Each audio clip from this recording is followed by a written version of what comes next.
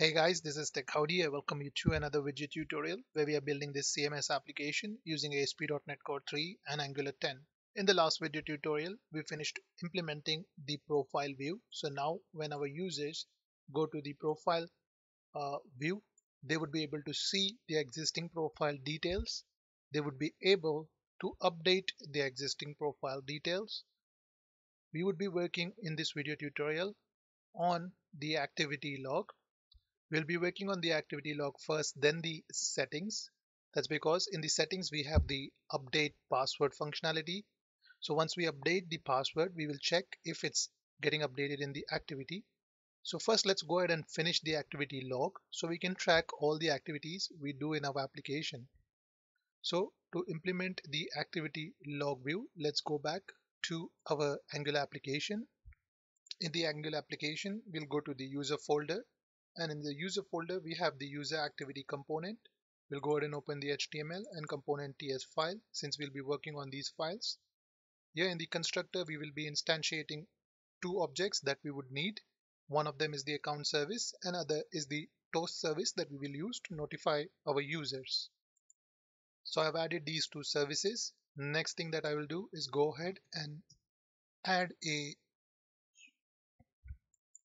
user activities array that will store all the activities of the users. So we can then loop on this particular array and then display all the activities in our UI so this array will hold all the activities. Think about it as a container that will store all the activities for us. Next thing we are going to do is we are going to create a method in our component called as load user activity which will be called from our ng on init method.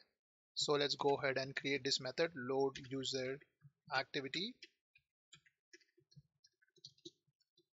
So this method will be called from the ng on init method.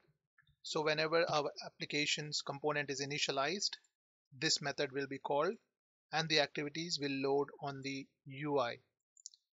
Next thing that we would do is go ahead and create a method in our account service called as get user activity. This method will get all the user activities and add them in this user activities array that we have created. So we will not subscribe, but we will convert the response to promise. That's because we want to wait until all the activities are loaded. So if we would subscribe, then we would not wait for the result. Instead, when the result is received, we will display it on the UI.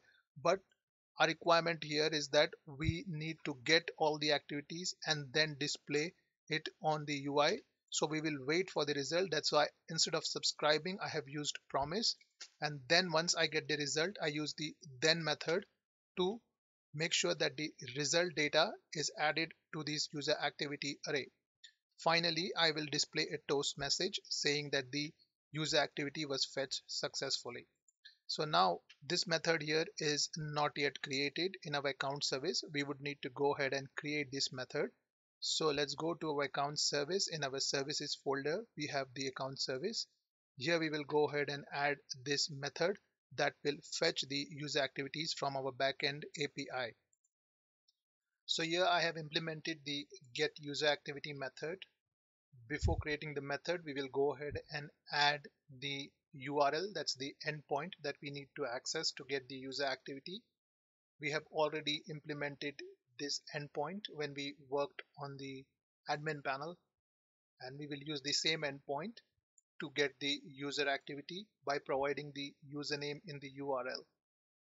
If we go back to the code over here where we have the get user activity method you have also added another observable object which is called as activity details this method will call the backend API and when we get the result we will map the result and save it in this activity details object if there's an error we will return an error and if there's no error then we will return this object back to this user activity method that is calling the get user activity.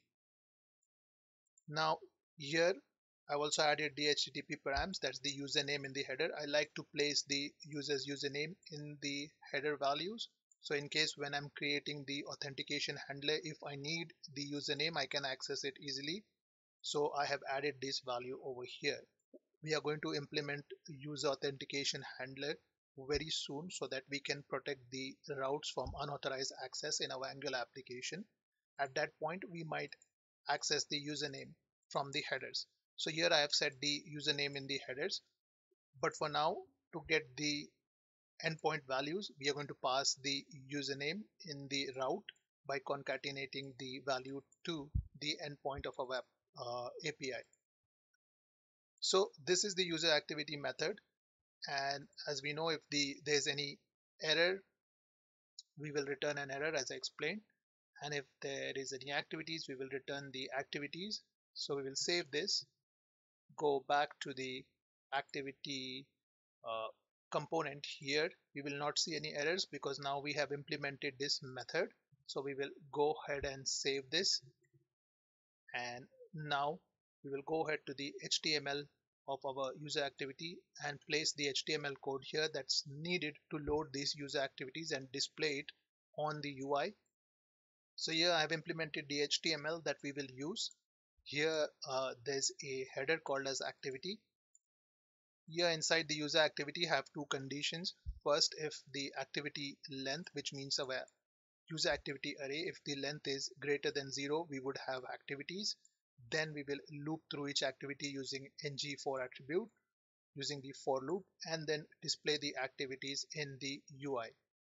If there are no activities, then we will display no activities in the UI. So that's all we need over here. For the CSS, we will go ahead and implement the CSS as well. I have already coded the CSS for this component. So I've placed the required CSS in the CSS file of the component. We have done with the HTML now. We have already implemented the backend API, so we do not need to do anything over here. Now our user activity feed is created. So let's go ahead and check in our application if we can see the user activity based on the logged in user. So if I go back to the browser, try to log in now go to activity log as you can see I can see the users activity now because the API endpoint call was successful and we received the message fetched user activities successfully so now we have successfully implemented activity feed for the logged in user. So any changes that they make in the application you will see a user activity implemented or added over here. So if I go back to the profile here let's say I change the middle name and I save these changes enter my password